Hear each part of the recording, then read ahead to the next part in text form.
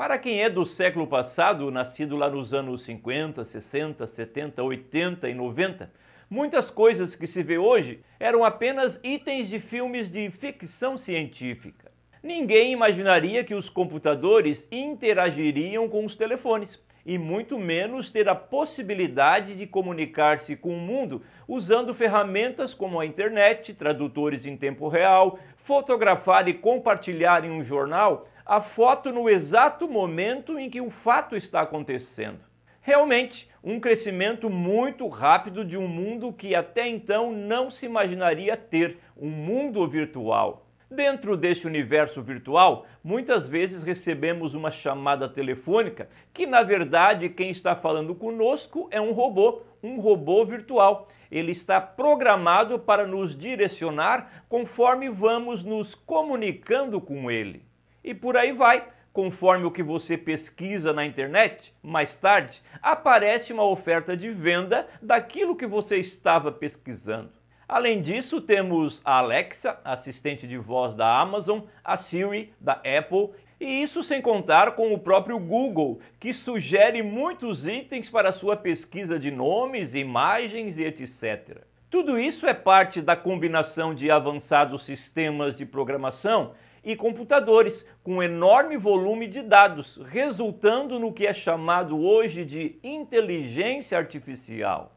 Esta inteligência artificial é capaz de realizar algumas tarefas para os seres humanos, e nisso entra os carros autônomos, sistemas de atendimento ao consumidor, robôs industriais, sistemas de navegação e outras diversas áreas, até mesmo áreas de pesquisa sobre um determinado assunto. Isto é, se você usar um sistema de inteligência artificial como o ChatGPT, você pode fazer um bom texto sobre os mais diversos assuntos. E nisso entra uma questão: e se eu pesquisar um assunto da Bíblia Sagrada, posso usar a inteligência artificial para interpretar a Bíblia? Posso usar textos da inteligência artificial para fazer um estudo bíblico ou o esboço de uma pregação?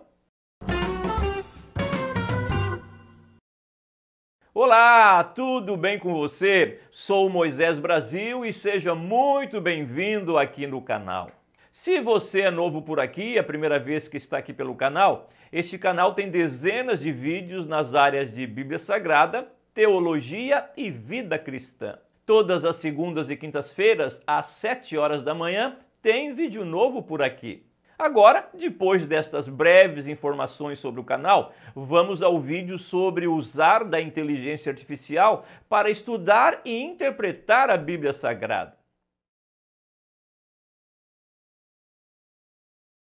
Agora que entendemos um pouquinho sobre a tal inteligência artificial, podemos ir um pouco mais adiante no tema do vídeo, sobre usar ou não desta inteligência no estudo da Bíblia Sagrada. É importante salientar que um sistema de inteligência artificial, como já observado, faz uso de um grande volume de dados, das mais diversas informações já armazenadas. Qualquer interação ou resposta de um sistema de inteligência artificial é com base no que ele já conhece, naquilo que já foi previamente programado. Dito isto, o sistema a ser utilizado para testar quanto a determinado assunto da Bíblia é um dos mais conhecidos atualmente, o Chat GPT da empresa OpenAI. Muitas pessoas estão fazendo uso desse sistema para trabalhos de pesquisa, formulação de textos, programação, pesquisa sobre produtos, roteiros de vídeo e etc. Na tela inicial desse sistema já aparecem algumas informações apresentando as limitações, informando que ocasionalmente pode gerar informações incorretas. Além disso, o sistema também informa que, ocasionalmente, pode produzir instruções prejudiciais ou conteúdo tendencioso e que o conhecimento limitado do mundo e eventos pós-2021. Tudo isso com base nos dados em que o sistema tem acesso. E se nesse universo de dados ter informações incorretas e tendenciosas, consequentemente, as respostas também serão incorretas e tendenciosas. Logo, é necessário muita atenção e certo conhecimento prévio sobre o assunto que você pesquisará, pois pode haver respostas incorretas e tendenciosas, ou seja, ficar com o pé atrás, com toda a resposta dada pelo sistema.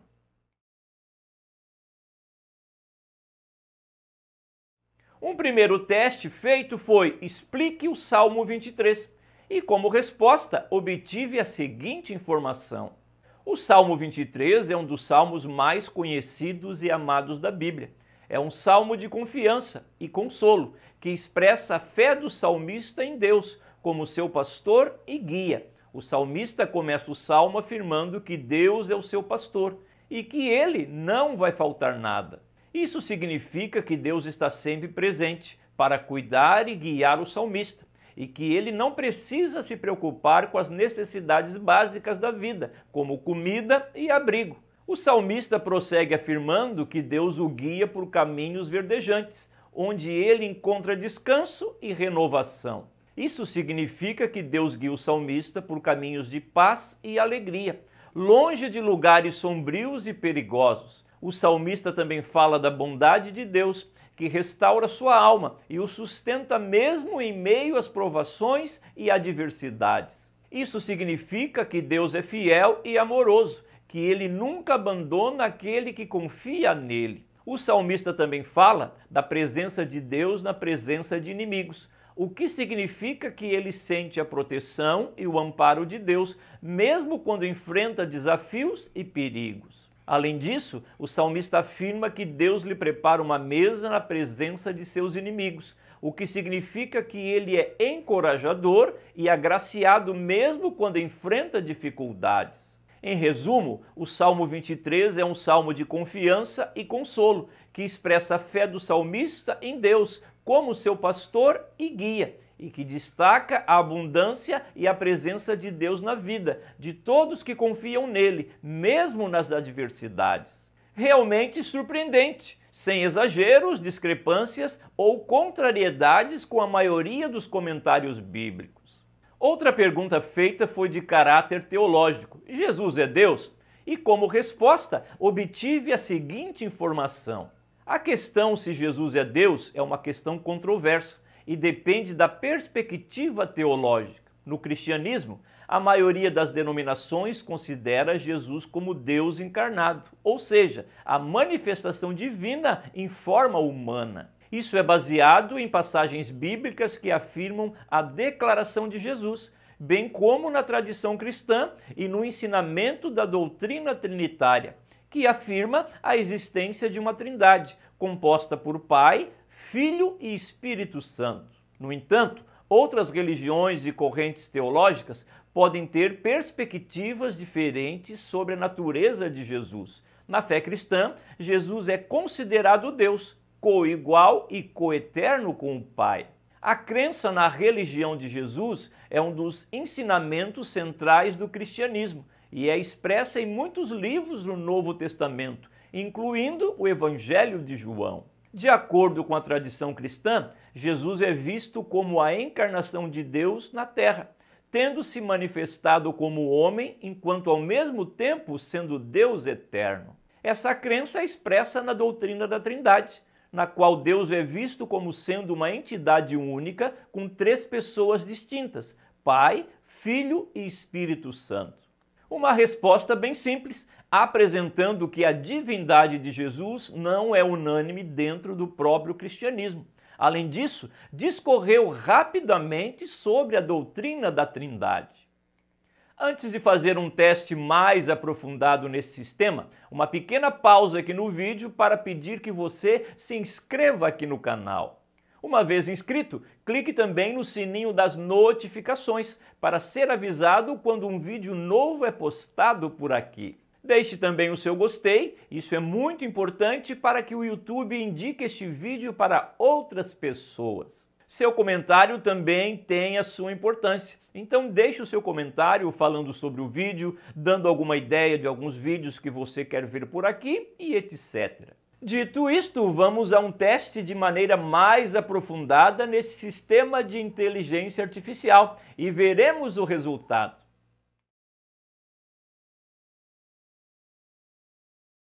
Já que a resposta anterior mencionou a Trindade, Então resolvi dar uma aprofundada na doutrina da Trindade, perguntando o que é pericorese. E a resposta foi a seguinte: Pericorese é uma condição médica em que o conteúdo abdominal, intestinos, estômago, etc., herda para fora do abdômen através de uma abertura na parede abdominal. É uma condição grave que pode ser causada por lesões na parede abdominal, como cirurgias ou lesões traumáticas, ou por condições médicas subjacentes, como obesidade ou distúrbios musculares. A pericorese pode levar a complicações graves, como infecção, e geralmente requer tratamento de emergência.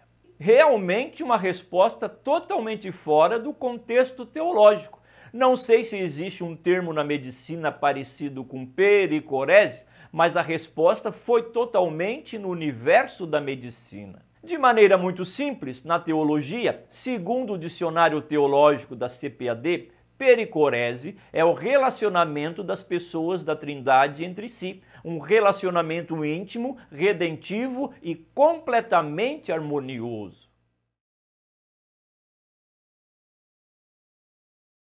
Fiz outros testes com relação aos textos da Bíblia de João 1:1, João 3:16 e outros mais, e a conclusão que chego é a seguinte: como a inteligência artificial é com base em dados já armazenados em seus sistemas, então, temas simples que são mais populares, existindo uma grande quantidade de textos por toda a internet, nos mais variados idiomas, então existe uma probabilidade maior de expor de maneira clara o assunto, como por exemplo o Salmo 23. Este salmo é um dos textos mais conhecidos da Bíblia. Logo, existe uma infinidade de dados, textos e vídeos no mundo virtual, tornando-se mais fácil apresentar uma resposta.